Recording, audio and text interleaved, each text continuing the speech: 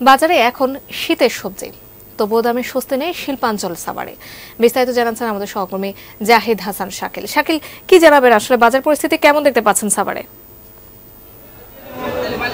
জাকিয়া, আমরা এই মুহূর্তে দাঁড়িয়ে আছি সাভারের আশুলিয়ার বাইপেলে একটি পাইকারি কাঁচা বাজার এবং খুচরা কাঁচা বাজারে। আর পিছনে চিত্র যদি একটু দেখাই, আপনি দেখতে পাচ্ছেন যে এই বাজারে আমরা দেখছি যে মানুষ আসছেন এবং কেনাকাটা করছেন। তো এখানে যারা দোকানি এবং ক্রেতা বিক্রেতা উভয়ের সাথে আমরা কথা বলেছি, যে ধারণাটি পেয়েছি, সবজি, শীতের সবজি এসেছে। তবে কিছুটা আবার বেড়েছে গত সপ্তাহের তুলনায়।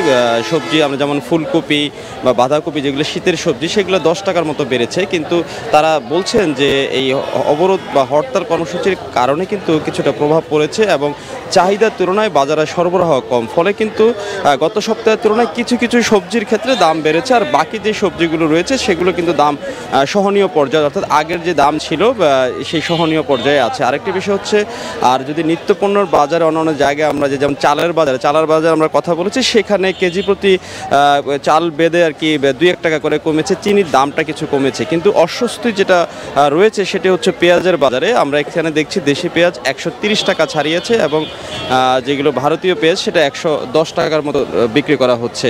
আর আলু, যে নতুন আলু এখন বাজারে এসেছে, তবে সেটাও কিন্তু তুলনামূলক দামটা এখনও কমেনি। তারা বলছেন যে এখন ষাট টাকা কেজি ধরে আসলে বিক্রি করছেন আর পুরানো আলু সেটা পঞ্চাশ টাকা টাকা ধরে আসলে বিক্রি করছেন। আর তারা বলছেন যে আরেকটু, অর্থাৎ এই সামনের সপ্তাহে দামটা কমবে বিভিন্ন জায়গা থেকে যে সবজি আসার কথা চাহিদা অনুযায়ী, সেগুলো এখনও আসলে বাজারে পরিপূর্ণভাবে ঢুকেনি বা আসতে শুরু করেনি। ফলে এই বাজারটিতে, অর্থাৎ এই শিল্পাঞ্চল সাভারের বাজারটিতে এখনও কিছু, কিছুটা অস্বস্তি রয়ে গেছে। এই সবজির আসা, শীতের সবজি আসার পরেও।